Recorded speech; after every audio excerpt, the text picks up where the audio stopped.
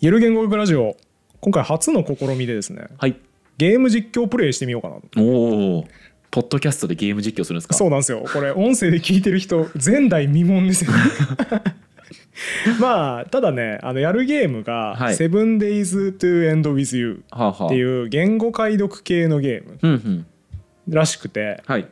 これやってくださいって声がねエゴさしてると結構あったんですよ。うんうん。ゆる言語学ラジオにやってほしいと。はいで我々わちゃわちゃ言いながらさやったらさ、うん。音声しか聞いてなくても成立すんじゃね？っなるほど。ていう仮説をちょっと実験したくてですね。これもしうまくいったらさポッドキャスター界でゲーム実況プレイが流行る第一人者になれる可能性あるよ。確かにね、うん。そうね。やってる人見たことないからね。成立しないだろうからね まあっていう俗物丸出しの考えもちょっとありつつですね、はちょっとやってみようかな。と、はいはい。えっ、と最新のゲームなんですか？あそうですね。これつい最近出た。今月今収はいはい。録時点2月なんですけど、今月出たゲームで日本人の個人開発者の方リザードリーさんはい。っていう方が作ってらっしゃるゲームえーです、ちなみにハードというかあれは何でできる？えー、Steam はで PC でダウンロードできる、はいはい。他 iOS 版 Android 版。うーん。スマホでもできるんだ。スマホでもできますねで有料で販売してるんですけど、えっと、値段多分変動するのかな？分かんないけど500円で僕は買いました。うん。Steam で。であの当然著作権的なこともあるんでこれあのやっていいですかっていうことをですねこの開発者の方に問い合わせたらですねゆる言語学ラジオさんの拝見したことありますと。何本も見ました動画。っつって。もう大変光栄なんでぜひやってくださいって言われて。ああよかったですね。神対応だな。すぐ返事来ました。よかったよかった なんであの許可も取れたということでね、うん。満を持してやったろうやないかいという気持ちでございます。言語解読ゲームってことですよね。そうですね。だからその開発者の方も言語学者ということですか？あ全然わかんないですけど 多分違いますね。まあただね水野さんが結構その言語学っぽい話とかさ、はい。言語っぽい話から切り込んでみたら面白いんじゃないうかなという気がしますね。全然僕前情報入れてないんで全くどんなゲームか分かってないですね、ちなみに僕もあんま分かってないおおオですッケーオッケー。というわけでじゃあ早速始めてみましょうか、はいえーあなたはこの物語の観測者ですと。言葉の意味を自由に感じ取ることができます、うんうん。二人の関係は感じた言葉によって構成されます、はい。よくわかんないですね。うん。物語は構成される、ああなんか出てきちゃった。なんでもないです。理解によって変化します。ほ短い物語かもしれないし奇妙で長い物語になるかもしれません。ああなるほどねう、うんうん、あれですよね。即死エンドみたいなのがあるパターンってことですよね。おおはいはいはい。そういうゲームってことプレイステーション3のヘビーレインとかそういう系？ああちょっとヘビーレイン何のこっちゃわからないですけど。そういう系です選択肢多分選んでいくとこうどんどん分岐のあのエンディングが分岐になるやつみたはいいな、はいはい。で2人のうちの1人になって干渉しますとコミュニケーションに、うんうん。感じ受け取った物語は全て正しい。マルチエンディングってやつですねだかうーら、っん。なるほど。なる間違いとかないんだ。てことでしょうね正解とかかじゃないんだね。ってことだね面白いね。じゃあ楽しいですねやっぱゲーム実況、初めてのことだし。気がつくとベッドに横たわっていた。気分は良くない。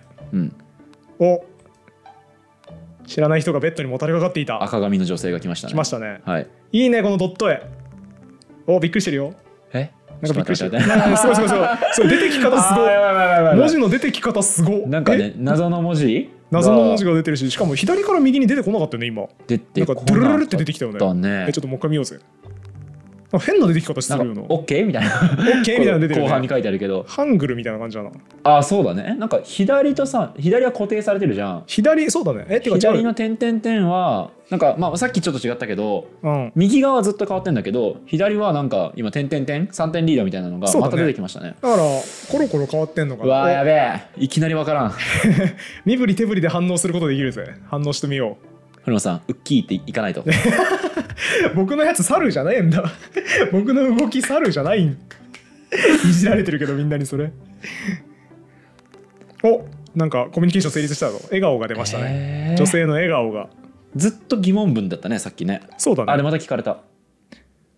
やっぱ左と右で構成されてるよねこのうん。おしゃべり要素が、下のこのさえ下のこのこれはなんかクリックできたりしないわけこの。できないっすね。あじゃあできた。あできた。堀本さん？え？へえあそういうことなんだ。おい。失礼しました。なるほど。なんかだかあこれクリックできるんだ。単語がへえ記録されてる？ん？あうん。どこで出てきたかが分かるんだこれ。あの今セリフが戻ったんですよ多分。ああなるほどね。これが使われたセリフが分かる。でもどんな身振り手振りしたかさっきわからんもんな。分かんないね。うん。身振り手振りで反応するって言われたから。あはは。あなるほど。やべえこういうパズル苦手や俺。これあれだな。めんどくさそうだうん これ要はあれでしょ？多分単語に何かに倒してるんでしょ？これが。そうだね。おだからそれを埋めていく辞書作りってことだよね。でもずっとさ左と右の2要素うん。に分かれててそこ意味分かわかんないきしててそうよく分かんなくて。は？お分かるついにあれだけになったじゃん。点々点だけに。あ3つになった。3つになった。えええどうどういうこと？あめっちゃ喋ってるこいつ。でも単語だね多分。単語が3つになったってことじゃない？えそうか？違うの？違くない？屈折とかしてない？下手したらあ屈折ってごめんあの認証とかによって形が変わるとかさ、あはいはいあの活用ってことだよね、うん、複数単数とかで。このえでもさこれいゲーム的なこと言っちゃうメタ読み的なこと言っちゃうけど、うん。多分一個一個単語に対応してるのであの活用してんのかまあそうか。そうだね。ゲーム的なこと言ったら活用とか入れたらめんどくさい、まあ、普通の言語だと割と活用しがちですけど。そうですよねあじゃあもしでも活用しないんだとしたら、うん。まあ、げその言語にだと,、えー、と言語で活用しないとなると割と,、えー、と助詞が入りがちだと思うんではいはいはい例えばですけど、えー、とある単語の一番前とか一番後ろの語っていうのが助詞なんじゃないかって踏んでみるのはいいアプローチかなと。なるほど。か完全に語順でやる言語なのか？でうん。も語順でやるとしたら核変化が必要だから、まってことはね。でやっぱ助詞なんじゃないですか？何々か助詞って考えた方が良さそうですけど。主語を表しますみたいなやつがあるのかな。うん。単語のね分かち書きしてくれてるのは便利ですね。ねえねえこれさ同じ文字じゃない？この真ん中の単語の左端と右端。いやてかなんなら真ん中のなんかさらにさほら変なさいや違う違う違うその真ん中の単語さいやういろいろ 3, 三種4種しか使ってなくない？あ本当だ。文字を7文字ぐらいあるけど4種？4種ぐらいしか出てきてないし。挟まってるね本当だ。これとこれとこれ一緒だ。本当だ。うーん。だからそういうことじゃない？なんか同じ文字で始まって同じ文字で終わるまあ、ここから読み取れるのはおそらくですけどこの一文字一文字が何かの音に対応してるって考えた方が良さそうですよね。そうだね。その多分。真っ先にえ漢字みたいなうん。一単語自体に意味を持たしてるわけではないって考えた方が良さそうですよね。表音文字か表意文字で言うなら表表音文字ね。なんじゃないかっていう気はしますよね。そうだね。だって繰り返しでこんなに出てこないもんね。そうそうそうそうこんな出てくるということはって考えた方が良さそうですよね。ね。あであれだね。一時停止ボタンみたいなやつと停止ボタンみたいなやつが出てきたね。うん？二重線と四角と。あはいはいはい、ありますね。本当だ。うん。なるほど。これさうんあとさやっぱ俺文字の表示され方気になるんだけど右から左に出てきてない？各ブロック。怪しいね。これちょっともう一回進めますね。ちょっとよく見ようぜ。うん、右から左に出てない？え？そうか。ちょっと待ってもう一回もう一回。ドゥルってこう。ななんていうの？ん？ん？なんかさ押し出されて出てきてるね文字が。出てきてる。そう。ドゥルルルルルなんか変変な出方してる。ねなんか、えそれだから意味あんのかな？なんかそういう順番で読むみたいな。これさたくさんインプット与えてもらってるじゃん。うん全然何にもさピンときてないんだけど、うん。でも赤ちゃんとかだともうそろよ。そうだね。赤ちゃんは早いからね赤ちゃんとかだったらもうそろ。だあ場所変わった。そうかだから右から読むのか左から読むのかから考えなきゃいけないわけですね。そうだね。あでもさ改めて見たらさこのおそらくゲームキャラクターがうん。キャラクター名が表示されてるであろう窓にさ、はい。さっきのやつであるよね。黒丸にバッテンのやつ、はいはいはいはい。同じ文字あるから。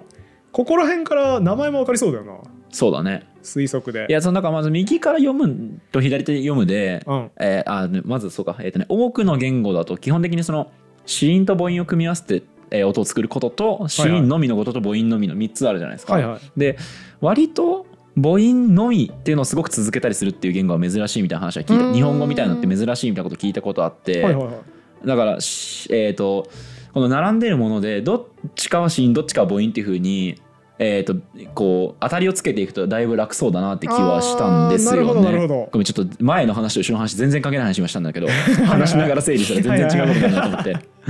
だからさっきさなんか同じね文字めちゃくちゃ使ってるってのがあった時に、2個ずつ例えばで出てきてたりしたら、うん。間隔1個開けてとかだったらそれが、えー、と例えば母音なのかもしれないとか考えてもいいのかもしれないですね。そうだね。そうだね。ああそれ面白いな、えー、と母音の方が子音より少ないので、はいはいはい。基本的には。あそうだね。母音をまず特定するのが良さそうですね、うんそう。母音を先に当てに行った方が早そう。英語とかでもぶっちぎりで E が多いですもんね登場頻度。そうだね。フランス語とかも E が一番多いって確かジョルジュ・ペレックの殲滅とかは E を、ねね訳文でそういう削ってるみたいな話ありましたよね。やっぱこれ多くない？この黒丸にジョルジュ・ペレックの殲滅の話はいいんだよねも。う もういいっす、あの E を使わず書かれたやつね。リポグラムの小説ね,、はい。リポグラムはい。おえ？ードアの向こう行った。うんうん。うん言葉が理解できない上に自分のことも理解できない。多分記憶失ってんですね。そういうね状況ね。記憶がないと。だから完全にその、ね、異世界に転生して言語がわからない状態みたいなイメージをすればいいわけだね。そうですね。うんうんうん。記憶喪失のヨーダのようを開きたいなって思いません？や 思うけど今もいいや っぱちょっとぼ病気なんですよねこれ。動画編集のテロップをずっと直し続けていると 他人のコンテンツを見てても直したくなるえー、何でもないです。すいません。んそうですよ本当に。体の節々が痛む。何らかの事故かもしれないと。であの人に頼るしかない、まあよくある物語設定だよね。え急に何？急に何物語だけやること？なんか探索とかできるんちゃう？なんかあできるよ。お？え？うん違うなおなんかなかったカレンダー。なかった。カレンカレンダーカレンダーじゃない。あいうえお表みたいなことじゃないこれ。ああえいや数字と対応してるよ。190ちょっと待って俺視力悪くて見えないんだけどさ。下も数字じゃない ?192 みたいなの書いてない？あ違うわ。俺の視力が悪いだけだ。目悪すぎるやろ。ダメだ。えでも普通に謎の文字ですよこれ。全部謎の文字か。えカレンダーって考えちゃダメ ?1234567 あでもねぽいね。7でしょ。あカレンダーじゃない7で縦5これ。だからカレンダーじゃない？やるやん一番上にさカレンダーあだから何月とかってことか。あの上のさああそうだね。やつが。えでもちょっと待ってこの上のこれとこの左上のやつカレンダーの1日の位置にあるやつ一緒じゃない？表記。あーあじゃあちょと1ってことかこれが。これが1ってことかじゃあ。その可能性はありますよね。ただなんか1列目だけえーっと1行しか文字が書かれてないんですけど2列目以降2行になるんですよね。そうだね。だからあれなんじゃない？えーっと7進数いや8俺そう進数進数な。がそもそも10進法って考えちゃいけないのかなってちょっと思ったんです。あだとしたらさめっちゃ収まりいいんじゃない？これが1で、うん。これがだから7なわけじゃん。うん。で桁上がってうん。10になってほしいな。11だなだとしたら。そのロジックだと111 2行にわたって11って書いてありますね。って書いてあいやるけど。0持たないって考えたらいいんじゃない？あゼロを発見してないうん。のかまだまだっていうかゼロを発見してない持たない人たちなのか。イメージをすれば。あだとしたら確かにしっくりくるね。1があって11がその下に来て。えっ、とだから8進数ってことだよね要するにね。123456で8で桁が上がるからだから8進数の0なし？ゼロなしで11っっててことか。考えてもいいですねだとしたらしっくりくるね。ここが12でここが13で。8進数はねちゃんとえっ、とだから他の言語でも見られてる進数ですから。ああそれやったね。あの数の発明の回で。そうそう。えー、とだから指の間ですかね。指に物挟んで数えたりする場合っていうのは8になるので、ったわそれ。8進数になるでそそれは僕は結構 2×4 っていうこ単語で8を作ったりしてるみたいな話がね,、やったね。えエベレットの時に出てきましたけど。それの回でなんで指の間で数えたんやっていう、うん。間に挟んで数えることあるって言いましたけど。言ってたね。それはあるってことですね。そうそうそうそう。あじゃあいいじゃん可能性はありますね、まあ、そこまで考えてるかあの開発者がそこまで考えたか分かんないですけど8進数は割とその7進数とかに比べればおそらく見るんじゃないかなというか体とねうん。原因的にはでも開発者は何と言ってもねこれに快諾してくれるそしてゆる言語学ラジオを見てくれているというあ。大変知的好奇心がある方なんできっとそのなんとか族のことを理解してかもしれないね。8進数設定されてると思います。そうかもしれないですね。本家いいんじゃない ?31 でしょこれが。だから3121か。21で22で完全にいけてるね。今の話で8進数のカレンダーとしてこれこの単語を覚えていかないと結構きつくなるのかな？それはね俺もそんな気がする、うん。うん俺さ視力悪いからあんまり綴り見えてない。そ の雰囲気でしか見えてない。このゲームやるのに向かない人だ。そう。他なんか選択できないかな？今部屋でなんかね。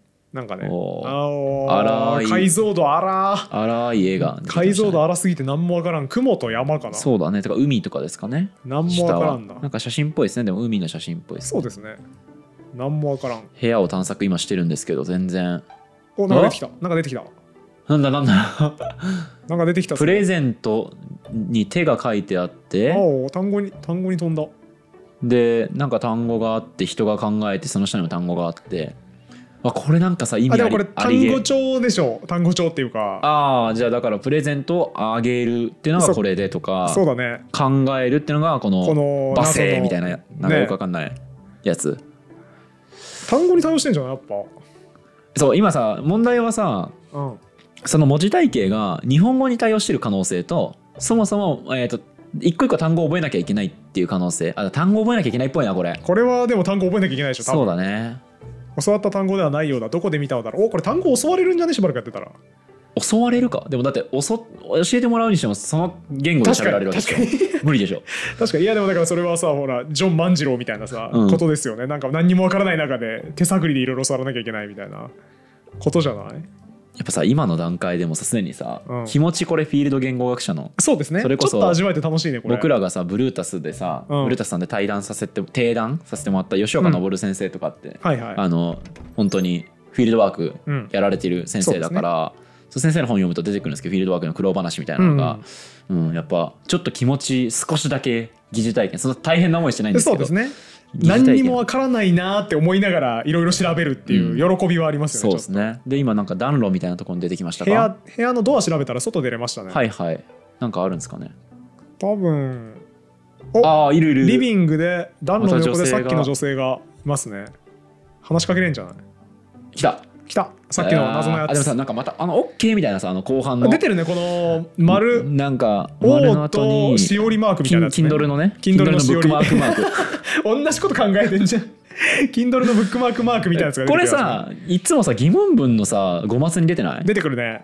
何々ですか？みたいなことかな。疑問文。いやだからクエスチョンマーク以外に疑問文を作る時の有表のマーカーがあまた来た。あ単体で出た疑問文ならんこの後。OK みたいなやつ単体で出てきたよ。ならんの？ならない。ならん。ならない。ならん。でもなんだろうねめ文っちゃ頻繁に使うやつってことですよね。たまたまなんだね。いやだからこれさうん。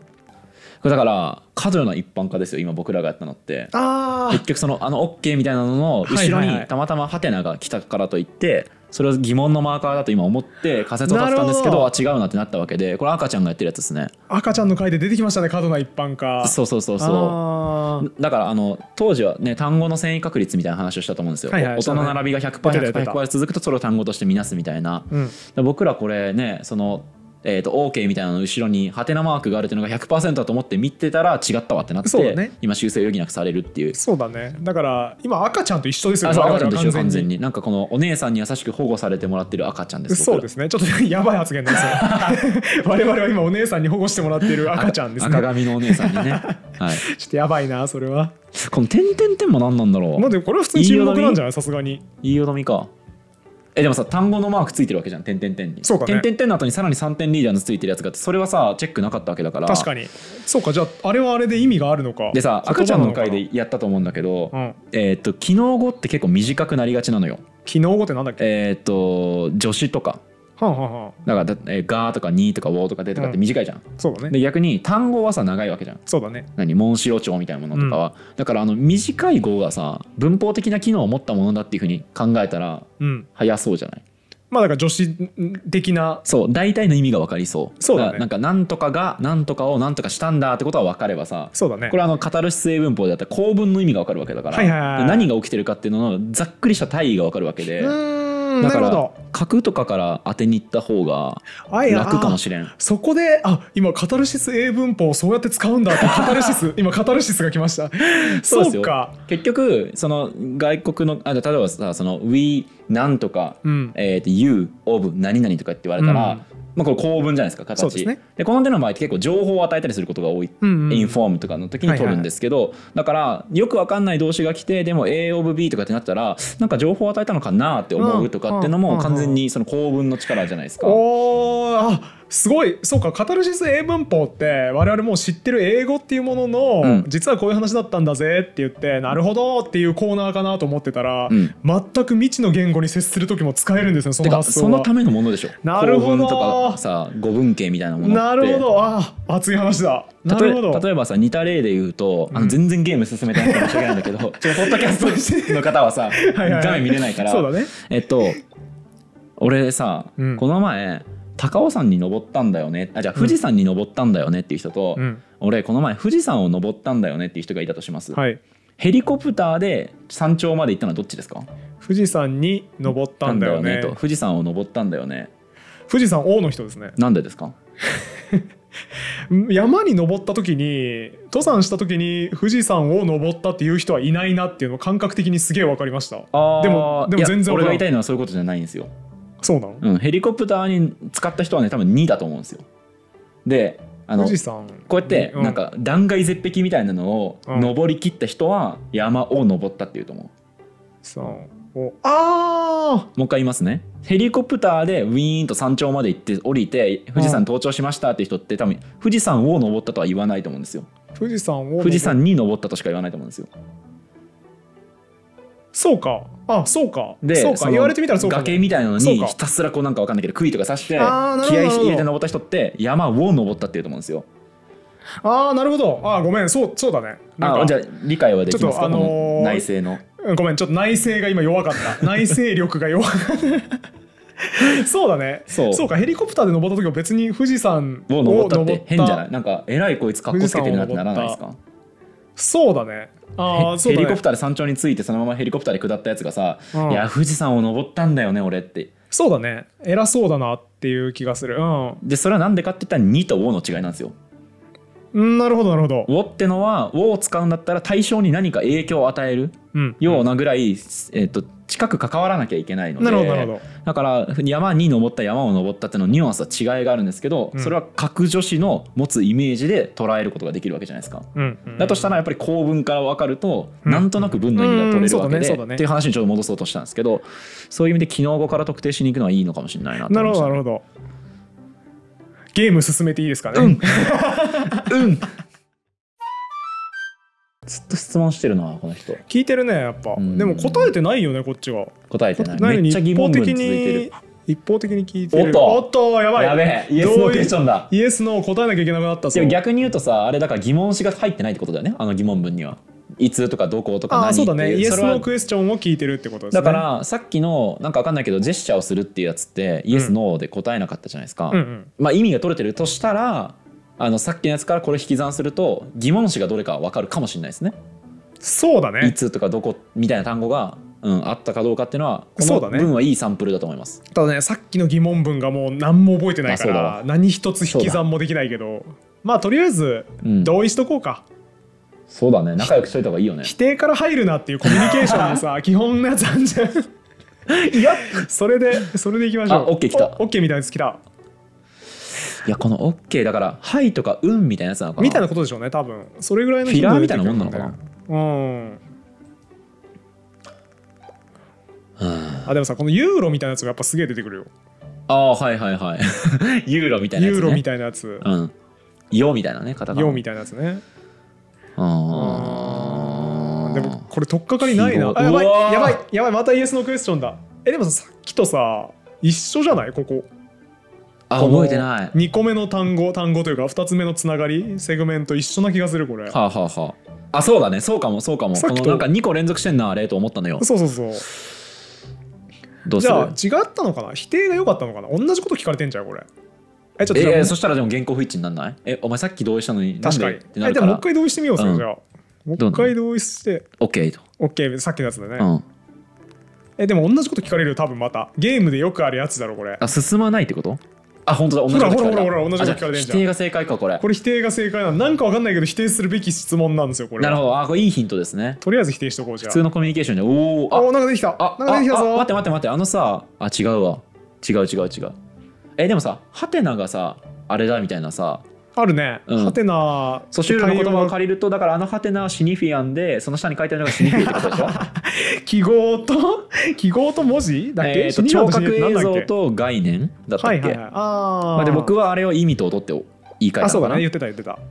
だかえらそうだね。だからだからさあのさ喋ってるやつがさあの真ん中の単語なわけでしょ？うん。対応してるよね、これね。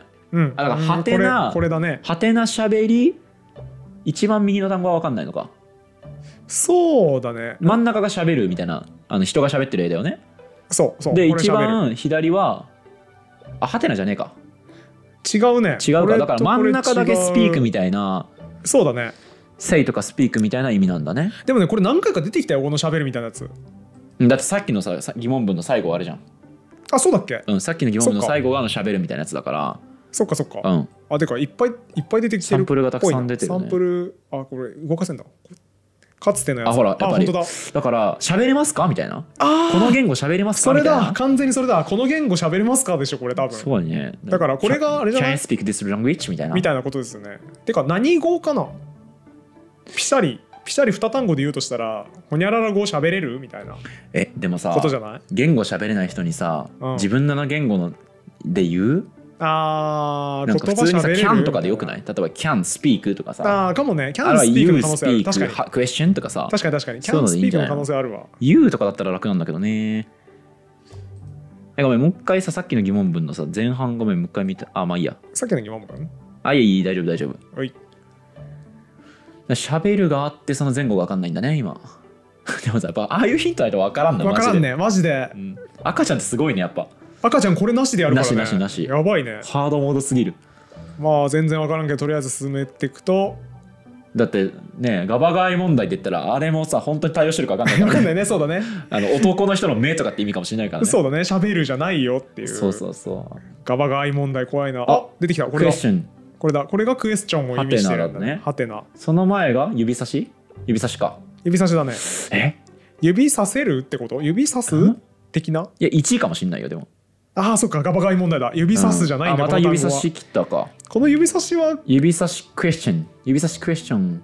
図で何かを伝えてくれているさっきのやつですね。言葉を理解するのに役ああり立つだろうがた。こんな赤ちゃんないよ。とおなんか出てきた。相当ありがてておこの言葉はどんな時に今まで使ってるやつだね、はいはいああそこうだね。の機能の説明をしてるチュートリアアルが始まったんだここで。ださ赤ちゃんこれもないわけじゃん、うん。このあこの状況でこの人こういうような言葉言ってたながないから赤ちゃんはだから己の脳に蓄えとくしかないえぐいえぐいえぐい。えぐ。ワーキングメモリがもう無理無理無理。どんな意味であ覚えておこうかな。あ意味を。メモできる？メモできるんじゃないこれ。メモしたい。これか？あ違うわ。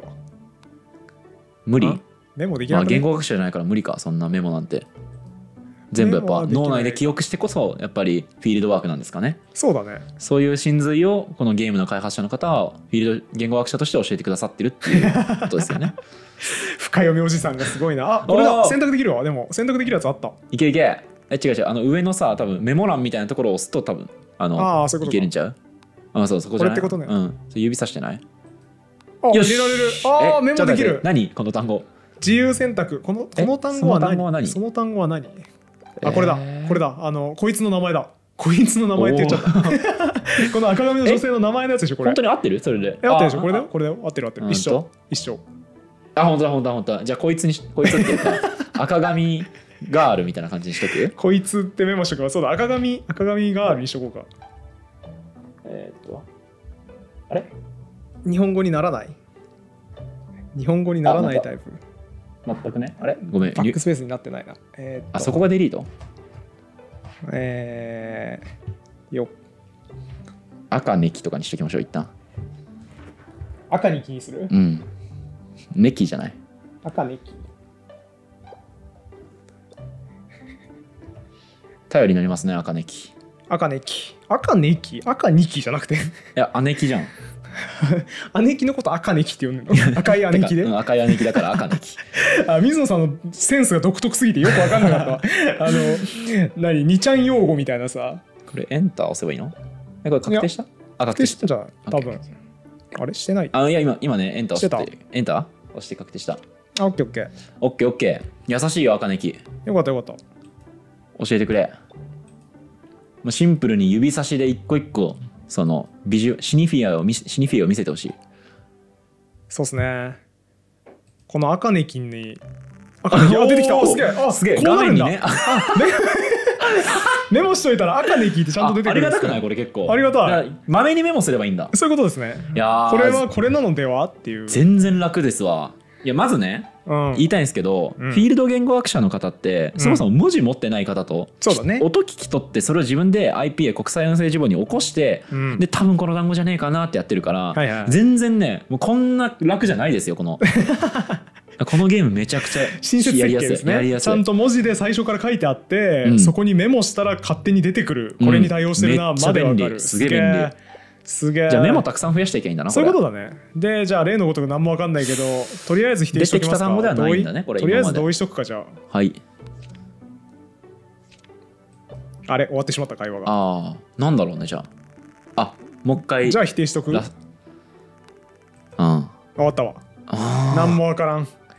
つまりどっちに転んでも特に何も続かないはいはい、はい、やり取りだったわけですね、もうちょっとあれ？なんか単語のえなんか状況でさあの単語ちょっと振り返ったりできるわけでしょ？うん。あの時こう言ってたな。もうちゃんとアーカイブで残ってます、ね、スピークみたいなやつとかもメモ残しとく？ああやっとこうか。うん。えっ、とスピークはなんか最後がちょんちょんちょんちょんだったやつよね。えー、っとどれだっけ？うわー。いっぱいある。うわー。単語いっぱいある。早くメモ残さないでめんどくせえあいやあれあれあれあのね一番下の列の。これだこれだね。それそれ。これだよ。合ってるね。確かこれだよこれだね。あの絵が絵が欲しいけど多分多分そうあこれだ。スピークで。合ってる合ってる、うんこれだね。多分スピーク。喋る。うん話すとかかな。話す系のやつな。メモしとこう。えーあ赤ネキがたくさん早くメモ残してくれればいいんだけどな。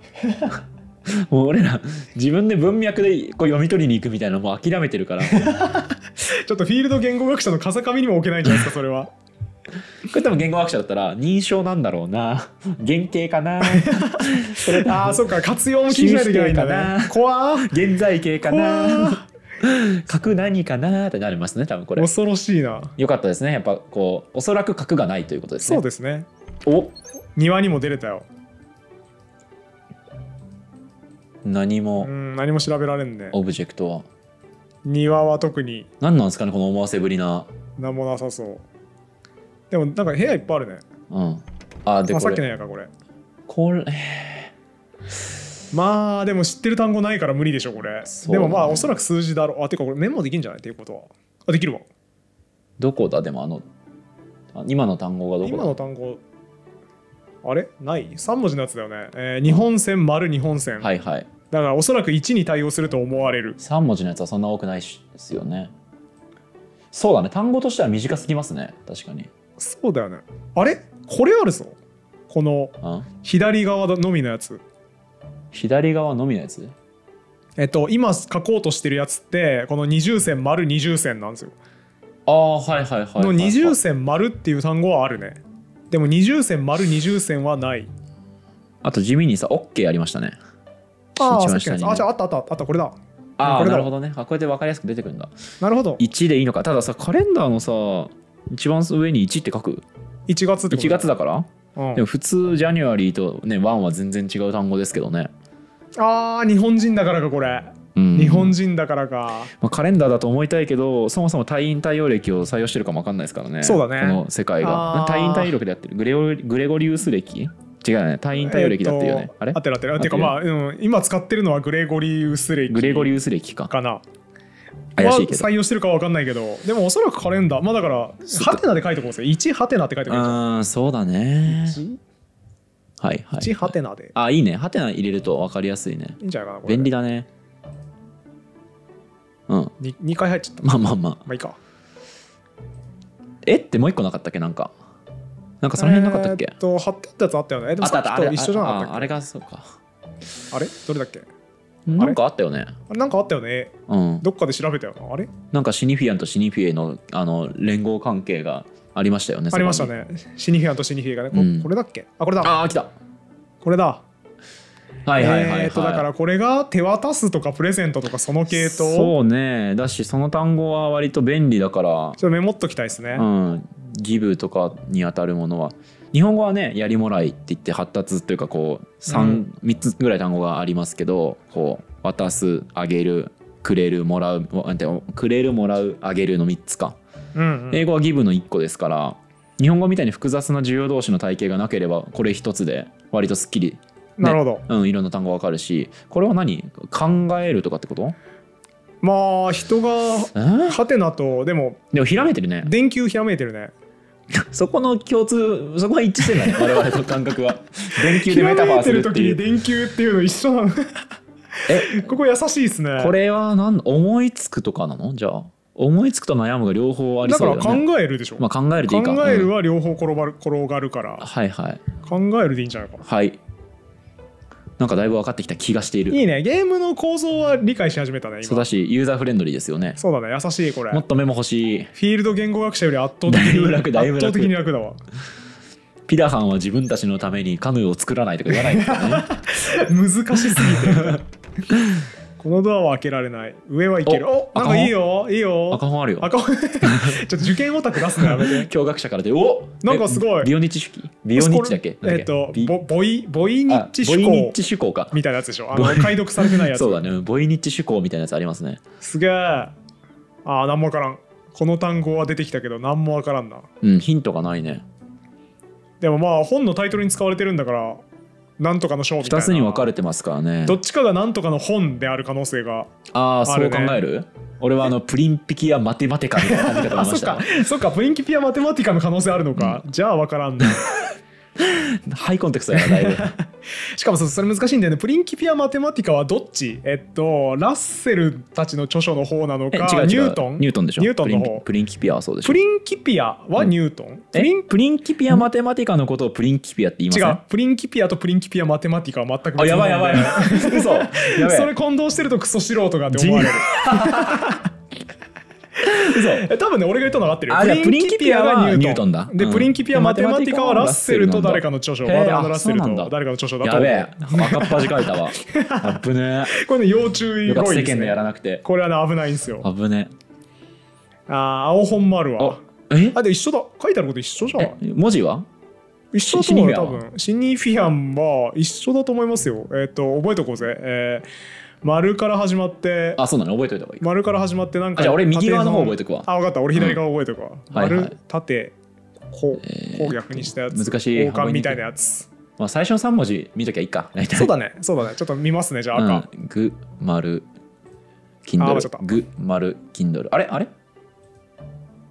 グ一緒。あ一緒一緒。完全に一緒？赤と青で同じこと書いてあるね。なんだそれ？想定違うだけの別の本。色違いなだけかもやめてほしいな。なんか余計なヒントそうだね。情報量まあでもこういうことが言語で起きるんだよね。起きるね。緑も一緒ですね。ね。完全に一緒だわ。うんやめてほしいなって思うんだけど言語ってこういうもんだよね。やっぱフィールド言語学者大変。しょうがないよ大ね変だね。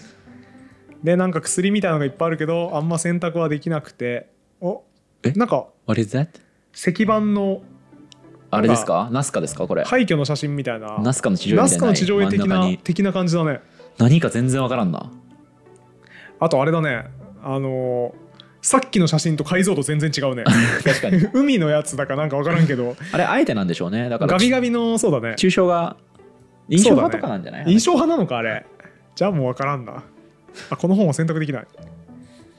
本読みたいのにな。そうだね。本情報量いっぱいありそうだよね、うん。メモがある選べた。お。あいいよー。何も分からんバカ。もっと残して。やっぱさシニフィアンとシニフィエの対応関係書いてくれないと。ほんとそうそうそう分からんな。ソシュールが書いてたじゃん一般言語学講義のさところに図表としてさ。何も分からんな。で基地の単語一個もないからさすがに無理だねこれの解読は、シーニュをちゃんとさはっきりさせてほしいぜ。何？シーニュー？シニフィアンとシニフィエを合わせたものがシーニュです。シーニューって言うんだ、はい。へえちょっと信号出してくんのやめてもらっていいですか？あの納期と初期を合わせて記号ってことです。なるほど、はい。俺ちょっとさ今新しい言語の解読してるのにさ新しい単語出すのやめてもらっていいですか？脳の負荷がどんどん増えてくんよそれ。シュールってさシンタグマティックな関係とさ パラディグマティックな関係。すなんで俺を混乱させようとして仲間じゃないの今。失礼しました。うん何もわからんな。実験器具みたいな。実験器具みたいなね。フラスコね。をバーナーで熱してる。大丈夫かこれマッドサイエンティストなだからあ感じが。の赤赤ネキがうん、マッドサイエンティストの可能性あるね。えそれドラッグとかできないの？そのさドラッグして薬品のとこになんかさ草とかぶち込んだりできないの？できないね。あー残念。動かせないですねオブジェクトは。そうか。うーん何もわからんな。なるほど。まあこの部屋に要はね。えー、ってなるともうネキともうやるこ喋るしかなとない。いなネキと喋るか外出れたりする？しないか。うん赤ネキと喋るしかないですね。この人の名前はもう赤ネキになったんですね。だいぶちょっとお。いやこれをさえでもどっちどっちどっちも一緒だったよね。選んでも終わったよね。もう一回やってみる同意でもさ赤ネキがさ、うん。えっ、と自分あなんか進んだ？進んだね。大丈夫か進めてしまって大丈夫だったのか俺ら。ちょっとあれだね。戻りたいけど戻せるのかこれ。あ戻せねえわ。うんまあ行こう。まあログ戻せねえから諦めよう。うん多分なんか質問としては赤ネキほにゃらららって聞かれて、だから同意したらとりあえず話が進んだ？なんか私に安心してるんですか？とかなんかそういう。みたいなことだろうね。はいはい。な主語ここっちに向けて喋ってないんですねだから。不思議ですよね。あなたは何々っていう質問じゃないってことだよね。そうだね。私っていうのが質問の中に入ってる。うん。おえなんかえ選んじゃった今。あのなんか謎のタイミングあったからさ、うん。クリックしたら暖炉選択されたね。これは暖炉ですみたいな。えっていうよりは今、えっと、俺が選んだんだよこの暖炉は。うんうんうん、だからこれの名前教えてくれてんのかなもしかして。まあ、ガバガーイの可能性あるけど、ね、ガバガーイの可能性あるけど。あー分からあんな。ったかあったかいですよねとか言ってるかもしれないしね。そうだね。あえなんか教えてくれるタイム選べる選べる。あ教えてくれるタイムだ。あ今教えてくれるタイムだ。あじゃあ椅子椅子選んでみようぜ。椅子えなんで2号なの？なんで2号なさのっき3個だったじゃん。共通してる部分あるかちょっと見ようよ。そのこれは？とか。一回見てみようか、ん。あでもこのさたい。2個目の単語暖炉の時も出てこなかった？嘘。ちょっともう一回見よう。ユーロみたいなやつと一時停止みたいなやつ。ユーロ一時停止。あ出てきてないわ。ごめん。うん。全然気のせいだった。え全部違うじゃん。共通すえー。共通してないね明らかに1個も。だからそういうし指示文じゃないってことですね。これ、ね。This is 何々みたいな文じゃないってことね、えー時計は時計機能の話してるこいつ。あー。あー可能性ある。時を示しますとか。時計とかじゃなくて時を示すものですみたいな。知ってる単語が欲しいね。可能性あるな。何もわからんな。おっと、お一単語だ。しかも分かりにくい。瓶ですね。うん。この紫色の瓶。まずこの人は単語を教えてくれてると考えていいんだよね。とりあえずね、まあそうしよう。そう考えないと進まないから。でさっきさ疑問して同意したじゃん。うん。同意したじゃん。なんかえっ、とだから私があなたに単語を教えましょうかとか言ってた可能性ない？ある。ある。で同意したから教えてくれてるみたいな。可能性あるね。だとしたらさっきの質問文からある程度意味分かる部分ちょっともあるよね。一旦これ瓶と仮定していい？そうだね。瓶とかアルコールとか。一旦瓶。もしくは酒。うん。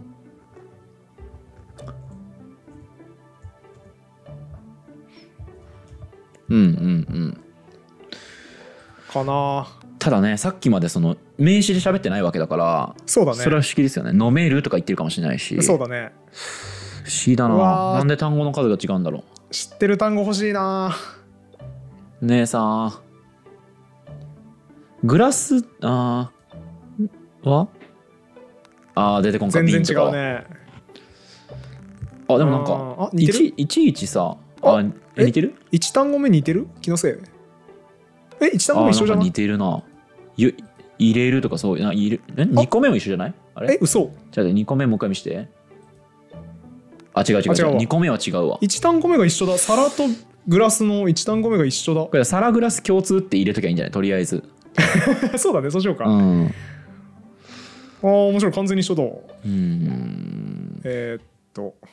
なんだろうね。結構長かったしな単語としても。まあでも入れるでもそう入れるに当てるにしては長いねこの単語でもしさ仮にこれが入れるだと仮定したらうん他の入れ物みたいなのをクリックしてみて、そのもしかしあのあそうだね。合うかどうかを見ればいいからその下の皿とか容器みたいな。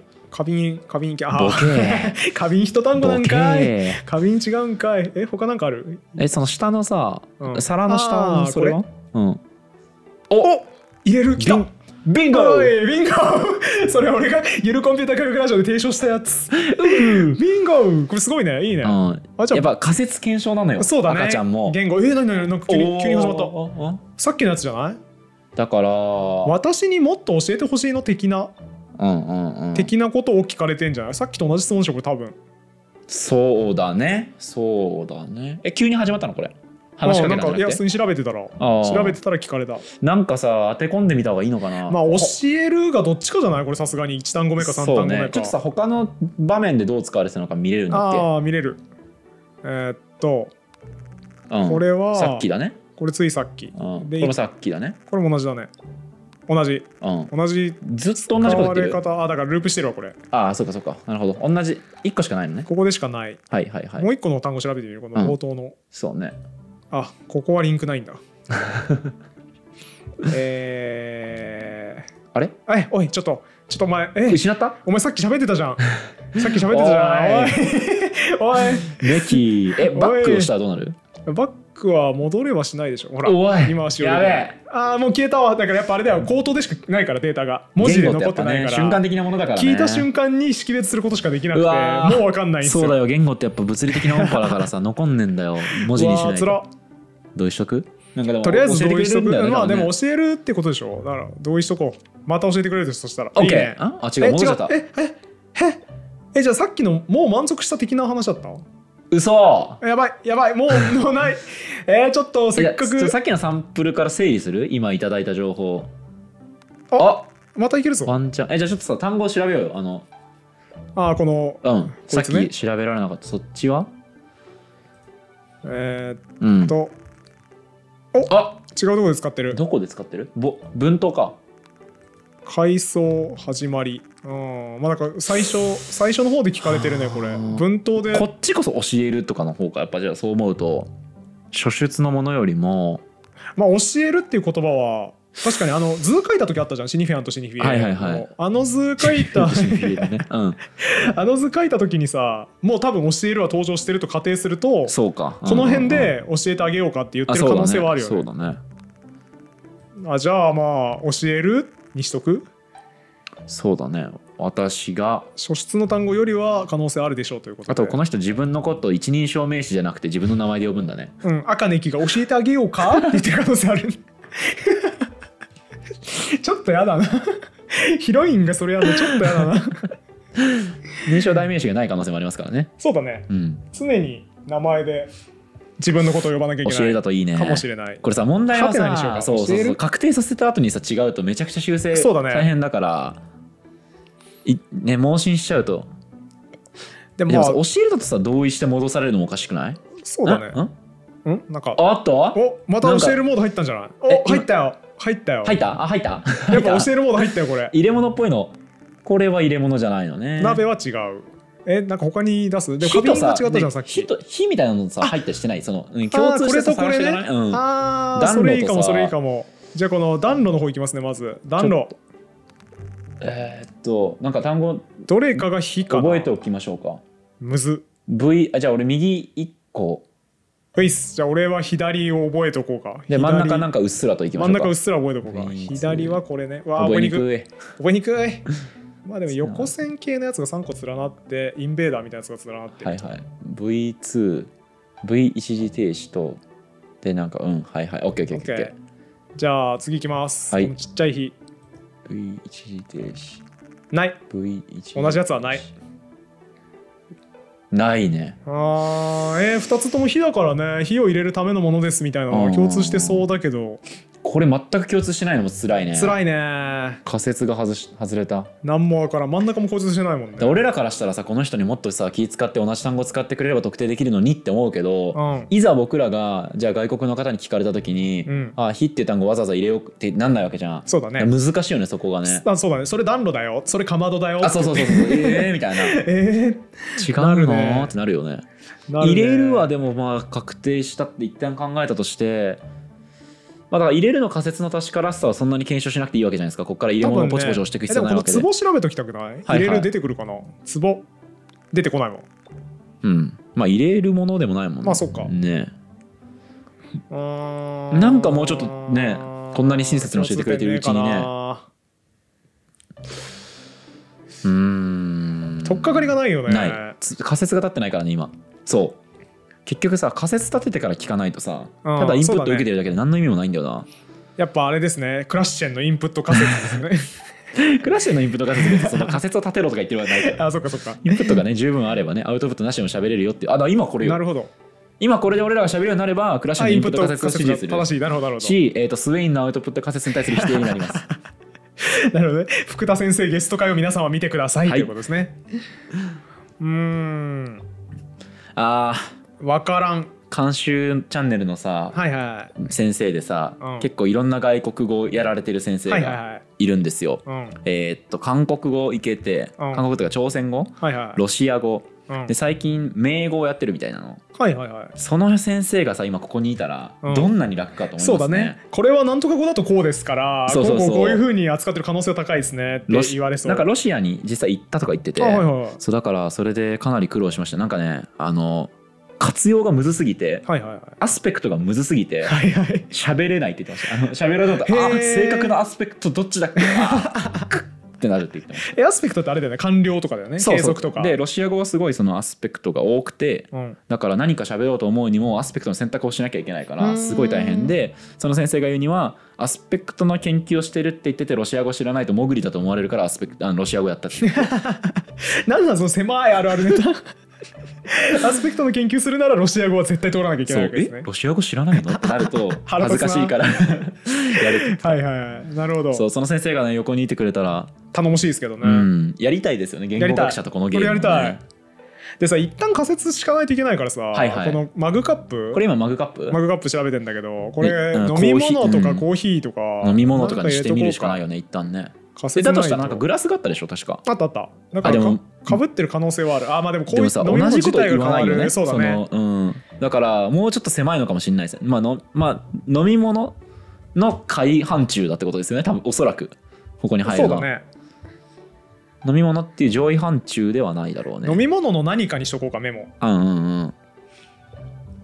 なんか横に酒と思ってるものがあるのもなんか因果ですよねそうだね。あ本当だ。これこれ優しいね。親切設計なのかもしれない。親切親切で近い単語は近くに並べてあんのかも。でもね1年間言語学についてあれこれ喋った僕らはこんなヒントなんて本当はいらないですよね。本当はね。そうそう余計な余計な分かるけどね、あうん。のちょっとね僕らに舐めすぎですよね、うん。この設計者。そんななくてもね。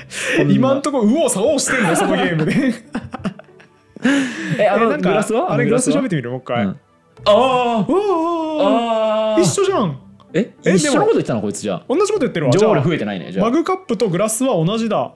じゃあやっぱ飲み物の可能性あるな。飲み物の何かっていやさマグカップを指してさ2語で言うってなった時にいろんな選択肢はあでもこの共通点合わせたらそうか。そう飲み物入れるしかなくない、えじゃあさでもこれとかいける？それは何？ピッチャーとかなんかわからん。ピッチャー的なやつじゃない？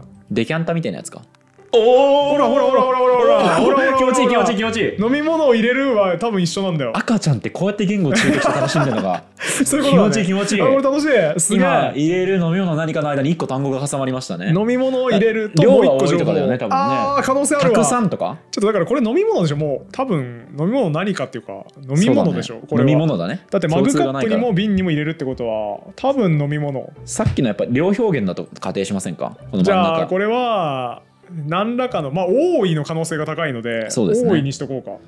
あの入れるってのもなんか入れるっていうのはコンテインみたいな含むみたいな感じなんでしょうねきっとね。そうだね、うん。入るとか自動詞なんでしょうねおそらく。可能性は高いです、ね、あ自動詞じゃねえか。あ飲み物が入るとかだよね。そうだね。飲み物がたくさん系のものちょっとそうぜじゃあ。みたいな。いきますか。うん。とめちゃくちゃ盛り上がってきたところで、うん。やっと面白くなってきたところで、はい収録時間の限界が来ましてはい。そろそろ終わろうかなと。あんなに親切にね 赤根木が教えてくれたんですけどね。やっとさ「お見えてきた見えてきた」みたいな「これ飲み物を入れるで多いだろこれ多分。じゃあ多いやつ探そうぜ」はい終わりです。はいお疲れ様でした。なんかさこれあれ思い出したわ。小学生の時にさ、うん。ゲームしてたらさ、うん。あのゲーム1日1時間までみたいな、はいはい。お母さんシステムでさ、うん。